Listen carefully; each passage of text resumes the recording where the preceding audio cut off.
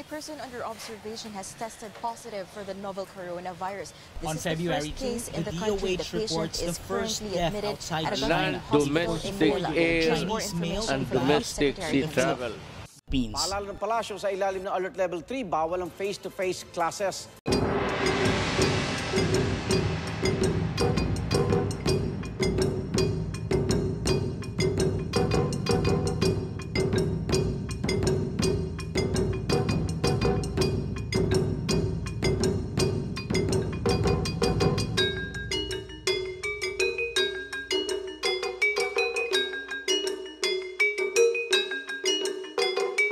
Música